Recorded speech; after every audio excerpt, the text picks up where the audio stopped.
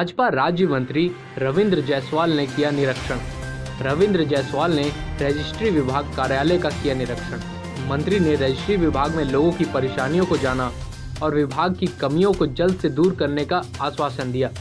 मंत्री रविंद्र जायसवाल के साथ जिला अधिकारी सुरेंद्र सिंह भी मौजूद रहे।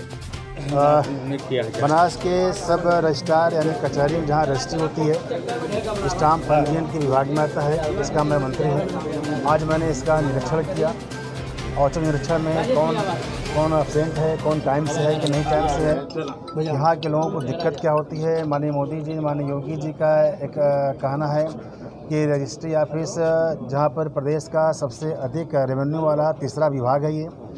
यहाँ पर लोग रेवेन्यू देने आते हैं। वहाँ की सुविधाएँ बेहतर होना चाहिए क्योंकि खुद आदमी रेवेन्यू देने आता है। तो वहाँ कोई दिक्कत ना हो। तो मैंने माननीय मोदी योगी के निर्देश में यहाँ आया, निरीक्षण किया। और यहाँ देखा कि थर्ड फ्लोर पर और सेकेंड फ्लोर पर रजिस्ट्री होती है। थर्ड और सेकेंड पर जाने के लिए बुज़ुर्ग होते होंगे, महिलाएँ होती होंगी। तो यहाँ पर लिफ्ट की व्यवस्था तत्काल नहीं है।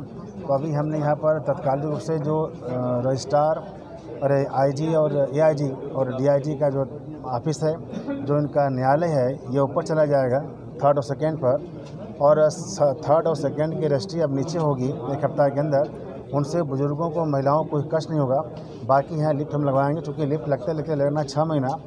छः महीना भी किसी को कष्ट न होने पावे।